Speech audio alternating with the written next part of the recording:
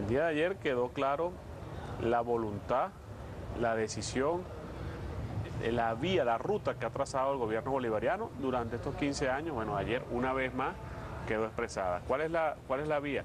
Bueno, el modelo de producción. Pues. Eh, nosotros, eh, el presidente ayer lo, lo, lo remarcaba muy fuertemente, vehementemente es necesario que nosotros definitivamente rompamos con la cultura rentística petrolera que tanto, bueno, que, hemos cargado durante 100 años. 100 años de producción petrolera acabaron con el modelo agrícola. Bueno, y fue realmente el presidente Chávez quien comenzó a plantear la ruptura de ese modelo.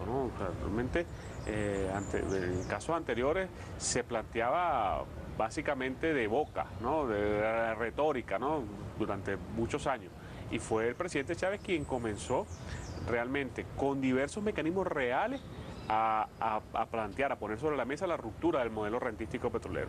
En uno de esos casos, bueno, el tema agrícola. Pues. El presidente Chávez dedicó, bueno, gran parte de esos fondos petroleros, de esos ingresos petroleros. Primero recuperó la renta petrolera y dedicó esa renta petrolera a desarrollar una infraestructura para la producción agrícola, para la producción industrial, para la producción de diversos tipos, para la prestación de servicios, es decir, para el crecimiento de una nueva economía.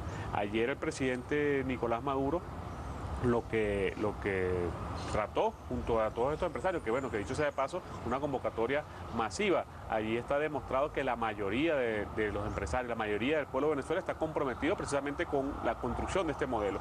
Bueno, en esa convocatoria masiva el presidente Maduro invitaba a, lo, a los empresarios, bueno, vamos a, vamos a engancharnos en esta ofensiva económica que yo le he dicho, es una continuación de la ofensiva que inició a finales del año 2013. Claro, en aquel tiempo tuvo un fuerte, porque bueno, porque había un tema de especulación muy grande y eh, hubo una fuer un fuerte despliegue contra la especulación, pero en este caso se trata de favorecer la producción nacional. Nosotros debemos trascender la, oferta de bienes y servicios, tiene que ser de origen nacional y bueno, y ahí estaban desplegadas ayer toda la fuerza, yo creo que va a ser muy importante la participación de los empresarios. Ahora bien, de estas reuniones previas que se han desarrollado antes de, de los anuncios que ofreciera el presidente Nicolás Maduro, ya se venía adelantando acerca del tema de la producción, de la producción agrícola en nuestro país. ¿Qué viene ocurriendo en los últimos años con respecto a la producción agrícola y cómo se puede potenciar a raíz de los anuncios del presidente Nicolás Maduro?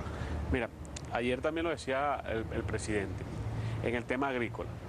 El, gobierno, el modelo socialista, el modelo que, nosotros hemos tratado de, implantar en Venezuela, bueno, que la mayoría del pueblo de Venezuela eh, ha, valorado, ha legitimado a través de las elecciones, etcétera, etcétera, y que lo planteó el presidente Chávez, en primer lugar es un modelo de protección social, es un modelo de, garantizar el acceso a los bienes y servicios de todos los venezolanos y venezolanas. Y fundamentalmente los bienes que tienen que ver con la, con la, con la vida, ¿no? con la alimentación, la salud, la educación.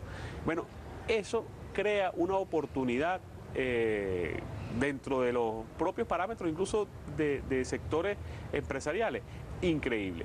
Primero crea una demanda eh, y, y, lo podemos ver en todos los rubros.